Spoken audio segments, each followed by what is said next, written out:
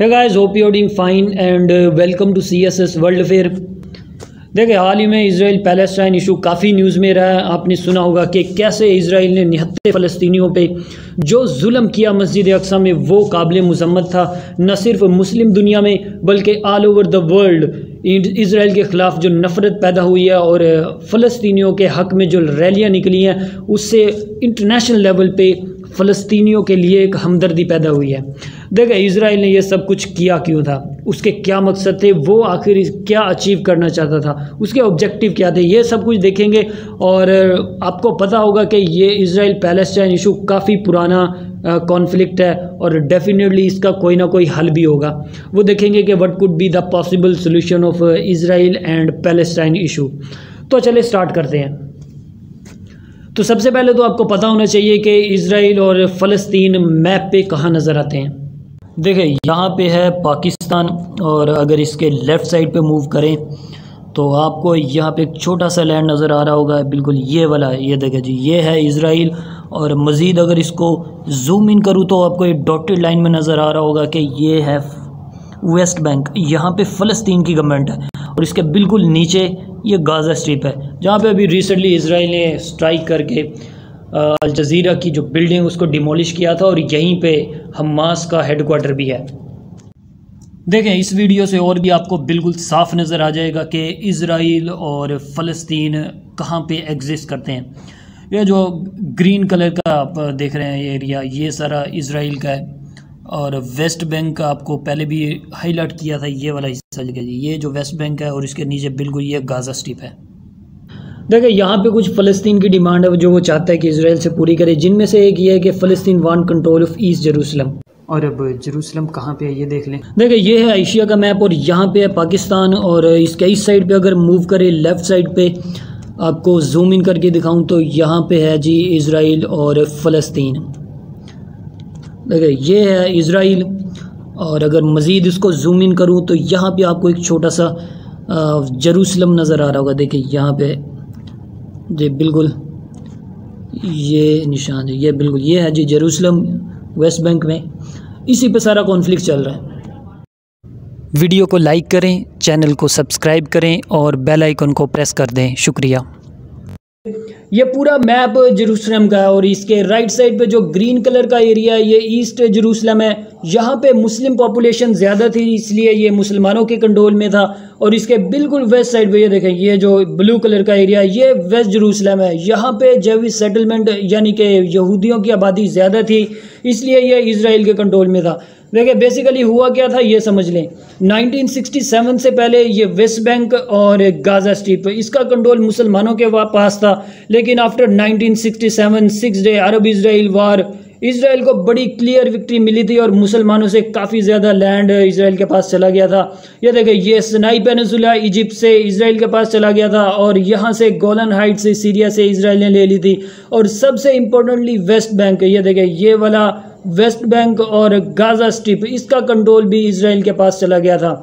اور اس کے بعد کافی زیادہ ڈیولپمنٹ ہوئی تھی، جیسا کہ نائنٹین ایٹی میں ایسٹ اور ویسٹ جروسلم کو کمبائن کر دیا تھا۔ اور اس کے بالکل دو سال بعد نائنٹین ایٹی ٹو میں یہ دیکھیں نائنٹین ایٹی ٹو میں کچھ پیس اگریمنٹ کے بعد یہ سنائی پیننسولا ایجپٹ کو اسرائیل نے واپس کر دیا تھا۔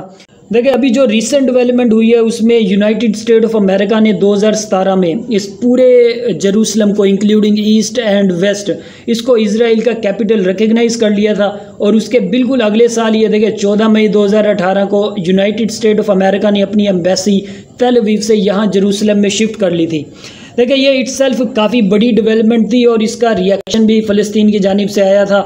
لیکن ایسا جب بھی کچھ ہوا نہیں ہے، اس لیے فلسطین چاہتا ہے کہ اس کو ایٹ لیسٹ ایسٹ جروسلم کا کنٹرول واپس ملنا چاہیے۔ لیکن یہاں پہ اسرائیل کا سٹانس یہ ہے کہ وہ ایسٹ اور ویسٹ یعنی کہ پورے جروسلم کا کنٹرول اپنے پاس رکھنا چاہتا ہے۔ اب یہاں پہ کوسچن یہ آتا ہے کہ آخر جروسلم اتنا امپورٹنٹ ہے کیوں؟ اس پہ اتنی کیوں لڑائی چل رہی ہے؟ دیکھیں یہ لینڈ تینوں مذہب کے لوگوں کے لیے بہت زیادہ امپورٹنٹ ہے کرسچینٹی کے لیے اس لیے، کیونکہ وہ سمجھتے ہیں یہاں پہ جیزس کرائسٹ کی کروسیفیکیشن ہوئی تھی۔ اور سیکنڈلی جیوز کا ماننا یہ ہے کہ وہ ریلیجیسلی اس لینڈ سے کافی زیادہ کنیکٹڈ ہیں اور یہاں پہ ان کا ایک بڑا ہی سیکریڈ پلیس ہے، آپ کہہ سکتے ہیں، یہ ویسٹرن وال جہاں پہ جیوز آ کے عبادت کرتے ہیں، وہ بھی ڈوم آف راک کے بالکل uh, رائٹ سائڈ پہ ہے۔ اگر میں آپ کو اس کا لارجر ویو دکھاؤں تو یہ آپ دیکھ سکتے ہیں زیادہ اچھے طریقے سے سمجھ سکتے ہیں۔ یہ ویسٹرن وال ہے۔ اس کی نو میٹر تقریباً ہائٹ ہے اور ففٹی سیون میٹر لینتھ ہے۔ یہاں پہ جیوز آ کے عبادت کرتے ہیں اور یہ ڈوم آف راک کے بالکل رائٹ سائڈ پہ ہے۔ اور تھرڈلی دیکھیں، مسلمانوں کے لیے ڈیفینیٹلی اس لیے بہت زیادہ امپورٹنٹ ہے یہ جروسلم کیونکہ یہاں پہ مسجد اقسا ہے۔ یہاں پہ یہ جو بالکل میں باکس بنا رہا ہوں، یہ مسجد اقسا کا آتا ہے۔ یہاں پہ ڈوم آف راک اور مسجد اقسا ہے۔ سم ٹائمز دیکھیں مسکنسیپشن یہ ہوتی ہے کہ یہ ڈوم آف راک کو ہی مسجد اقسا سمجھتے ہیں، لیکن اس کے سامنے جو یہ یہ والا، یہ مسجد اقسا اور یہ ڈوم آف راک ہے۔